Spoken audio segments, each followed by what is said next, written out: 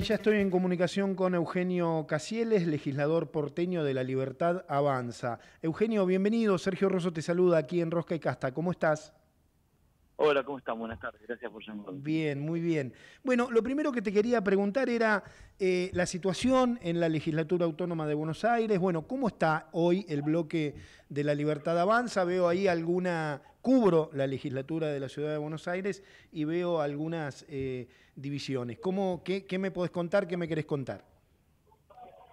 el bloque que nosotros integramos eh, está bastante sólido. Digo, venimos en un formato ya de hoy de interbloque más que de bloque pero los cinco legisladores trabajamos muy bien, mancomunados. Eh, en realidad que nosotros al final del camino no nos parece tan importante, tan relevante el bloque, el no bloque, integra, quién no integra, más importante es cómo se vota y cómo se trabaja, ¿no? que es lo que hace que de verdad se le cambie la, la vida a la gente. Lo demás termina siendo rojita de legisladores individuales que a nadie le importan.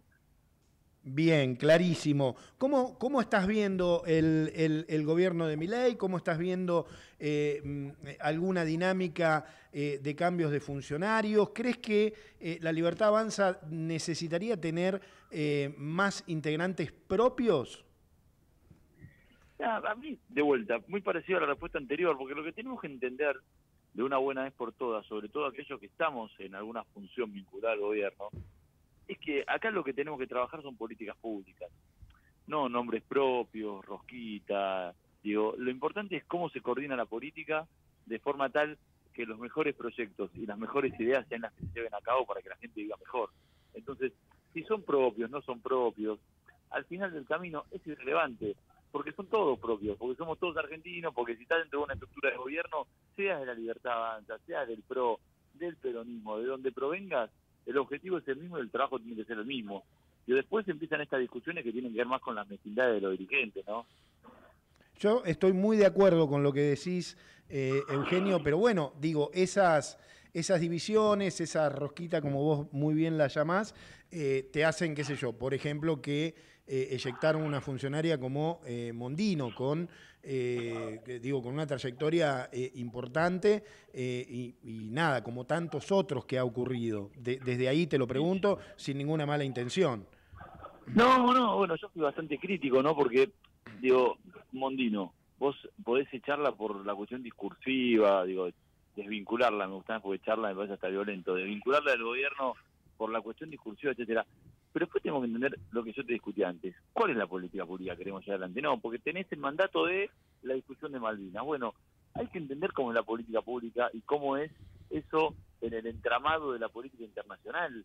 Digo, no es que Argentina votó a favor de Cuba y el resto del mundo votó en contra. Hubo una unanimidad en el tema. El resto de los países, países de Latinoamérica votaron en el mismo sentido y nosotros estamos pidiendo algo. Entonces hay que entender cómo funciona eh, la responsabilidad de un canciller y la discusión interna de vuelta, porque al final, cuando hablas con Mondino, lo que te confirma es que ellas habían hablado dentro del gobierno y habían contado lo que iban a hacer y hubo gente que estaba al tanto. Entonces, si había gente del gobierno que estaba al tanto, ¿Por qué echan a Mondino? Y bueno, termina siendo esto, a ver cómo la sacamos, porque ponemos uno nuestro, del otro. ¿Quién ganó? Algún pícaro. ¿Quién perdió? Todos los argentinos. Clarísimo, clarísimo. Ahora, ¿cómo, cómo haces para, para evitar eso? Digo, teniendo la posición que tenés vos, que es correcta, que yo celebro. Eh, por ejemplo, sucede lo mismo con eh, la vicepresidenta, con Villarruel. Ahí hay una parálisis marcada en el Senado que te obstruyen un montón de eh, medidas y leyes que necesita el gobierno para seguir avanzando. Digo, en el medio también suceden estas cosas.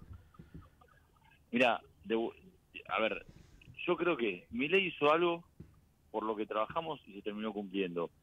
Fue contra la casta, discutió contra la casta, bla, bla, bla, bla. Digo, ¿estamos de acuerdo en eso? Estamos de acuerdo. ¿Vamos contra la corrupción? Vamos contra la corrupción. Ir contra la política es un error, porque en definitiva la herramienta que defiende la democracia es la política. Sin política no hay democracia.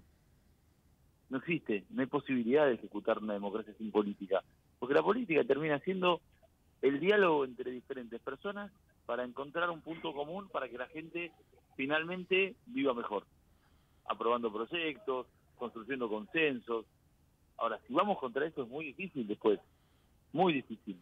Digo, hay herramientas que limitan hasta el presidente si no existiera la política. Entonces, tenemos que entender hasta dónde hay una cuestión discursiva y hasta dónde hay una cuestión verdadera y aplicable en la praxis diaria de la función pública. Estoy... Me parece que hay que entender el límite y la separación entre una cosa y la otra. Bien, estoy hablando con Eugenio, con Eugenio eh, Casieles, legislador porteño de la Libertad Avanza. Eugenio, ¿vos estás de acuerdo de una, o te parece bien, de una fusión con el PRO? Eh, ¿Crees que no? ¿En qué, en, qué posición estás vos? A ver, una fusión con el PRO, una no fusión con el PRO, una integración, eh, todo eso es lo, más de lo mismo ¿Qué piensa el PRO de la, de la, de la, de la programática que tiene mi ley, de la agenda de políticas públicas que tiene mi ley? Si el PRO está de acuerdo con esta agenda, por lo menos en un 70-80%, tiene sentido trabajar un acuerdo. Ahora, si están, no tienen eh, el mismo punto de vista en la mayoría de las cosas, no tiene sentido trabajar un acuerdo. ¿Por qué? Porque el roce va a ser permanente, porque lo que ordena la política pública.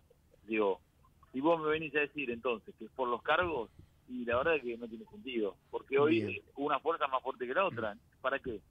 Para ver cómo mantenerse en el gobierno. Pensemos cómo hacemos que la gente viva mejor. Clarísimo, te agradezco mucho la comunicación. No, por favor, hasta luego. Eugenio Casieles, legislador porteño de la Libertad, avanza aquí, en Rosca y Casta.